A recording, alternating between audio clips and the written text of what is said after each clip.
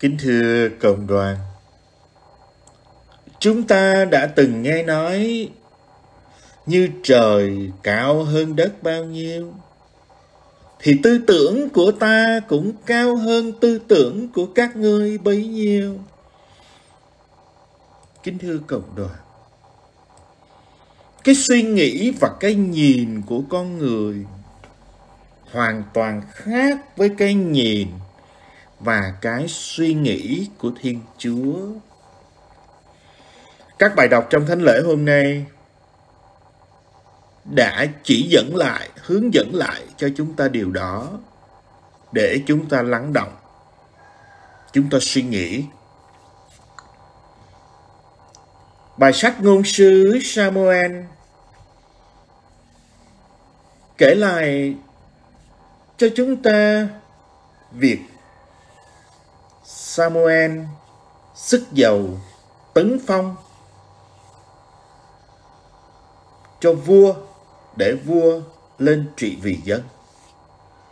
Saul đã chết, không còn làm vua Israel nữa. Và Chúa đã sai Samuel đến gặp người Giê-xê, gặp người Giê-xê, người Bê-lem. Vì Chúa thấy trong các con trai của Giê-xê có một người mà Chúa chọn làm vua.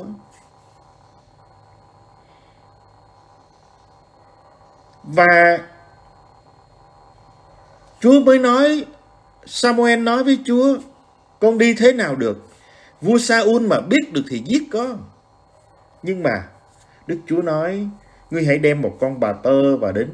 Đây là dân lễ cho Đức Chúa và ngươi mời giê đến dự lễ. Và ta sẽ cho ngươi biết điều ngươi phải làm và ngươi sẽ giết sức giàu cho kẻ mà ta chọn. Thì chúng ta thấy ờ, Samuel làm những điều mà như là Đức Chúa nói. Ông đến Bethlehem và các kỳ mục trong thành run sợ đón ông. Và sau đó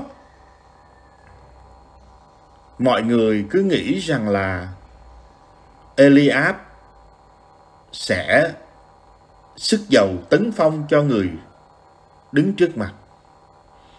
Nhưng mà Chúa nói với Samuel một cái câu mà chúng ta suy nghĩ, nhớ đừng xét theo hình dáng và vóc người to lớn của nó, vì ta đã gạt bỏ nó thiên chúa không nhìn theo kiểu người phàm người phàm chỉ nhìn thấy điều mắt thấy, còn đức chúa thì thấy tận đáy lòng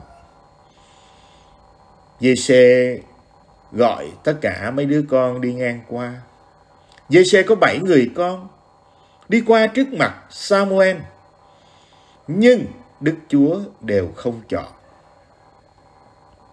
Samuel hỏi, còn ai không? Đầy đủ không? Và Giê-xê nói, còn một đứa đây út đang đi chăn chiên. Samuel nói với Giê-xê đi mời nó về đây chúng ta sẽ không nhập tiệc trước khi nó tới. giê đi đón đứa út về. Cậu bé có mái tóc hung, đôi mắt đẹp, khuôn mặt xinh xắn.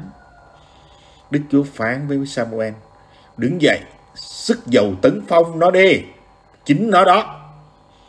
Và Samuel đã sức giàu cho cậu giữa các anh của cậu thần khí của Đức Chúa nhập vào David, và từ đó trở đi, ông đã được ân nghĩa bởi Thiên Chúa. Như Thánh Vịnh 88 trong Thánh lễ hôm nay, chúng ta đáp, thưa, ta đã tìm ra thân nghĩa của ta là David. Thiên Chúa đã chọn vua David. Con người có cái nhìn của con người nhưng Thiên Chúa lại nhìn thấu bên trong.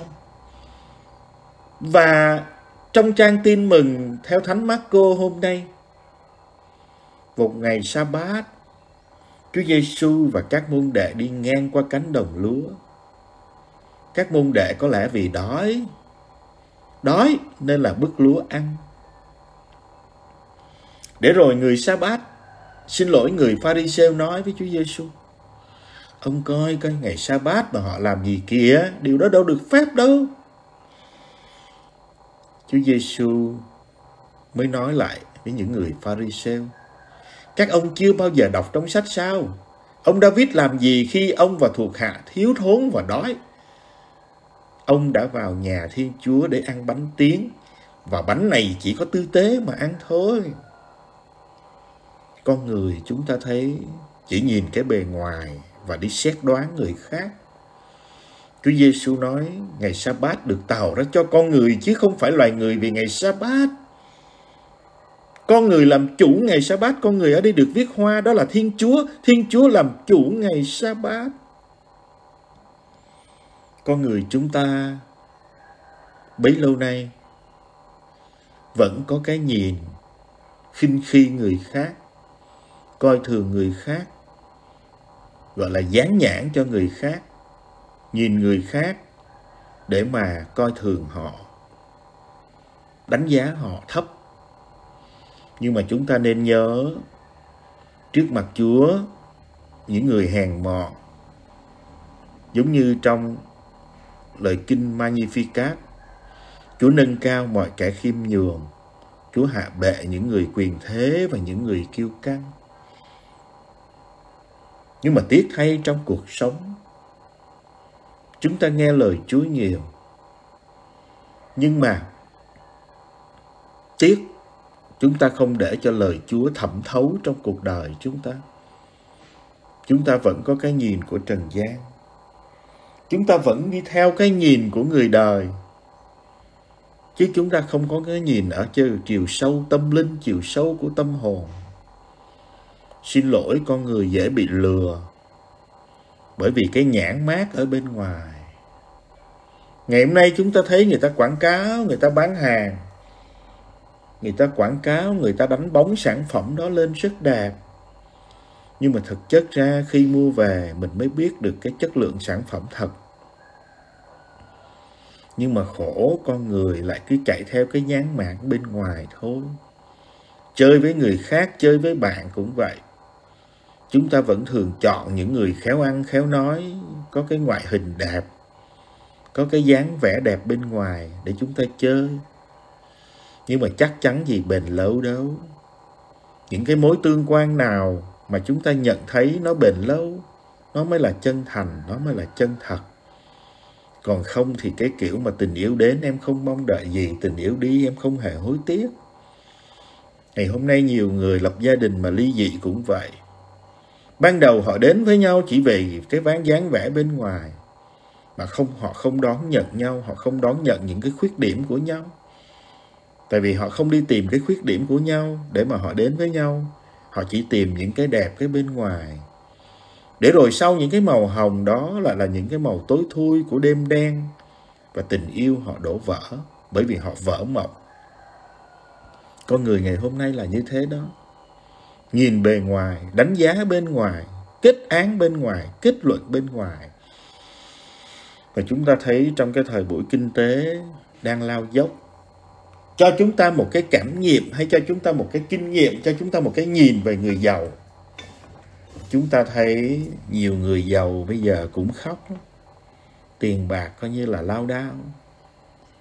Nhưng mà những người nghèo họ lại bình an, họ không đi lừa gạt ai hết thì chúng ta lại thấy một cái thực tế là quan chức đi tù nhiều quá. Quan chức đó nhìn bề ngoài rất lung linh. Có những người, có những lời phát biểu xem chừng ra là yêu nước, thương dân lắm. Nhưng mà khi đổ vỡ ra thì chúng ta mới thấy cái bộ mặt thật của họ là họ có người yêu, họ có phải là người yêu nước, thương dân hay không? Chung quanh chúng ta cũng vậy. Có những người ăn nói rất là khéo rất là hoa mỹ, đánh bóng tên tuổi mình, đánh bóng bề ngoài. Nhưng mà bao nhiêu người chúng ta chết vì cái bên ngoài đó. Một cái thực tế bi đát trong cuộc đời là chúng ta không thích cái bề ngoài, chúng ta không thích những lời hoa mỹ. Nhưng mà ai nói hoa mỹ và ai xinh xinh đẹp đẹp bên ngoài thì chúng ta thích giao tiếp lắm. Nhưng mà thực chất bên trong đó họ có tốt, họ có chân thành với chúng ta hay không? Điều đó chắc có lẽ mỗi người chúng ta biết và chúng ta lại đặt mình trước mặt Chúa. Thiên Chúa thấu tỏ đêm đen, Thiên Chúa nhìn thấu trong tâm hồn của chúng ta. Thiên Chúa yêu thương chúng ta cách đặc biệt.